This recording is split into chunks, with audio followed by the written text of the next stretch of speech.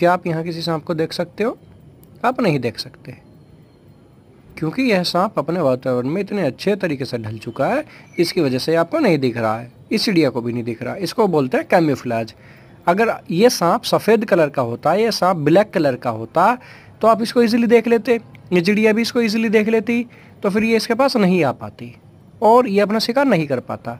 तो ये कैम्योफ्लाज ये इनकी खूबी है, जो मदर नेचर ने इनको प्रोवाइड की है और इनको सर्वाइवल में बहुत ज़्यादा हेल्प करती है।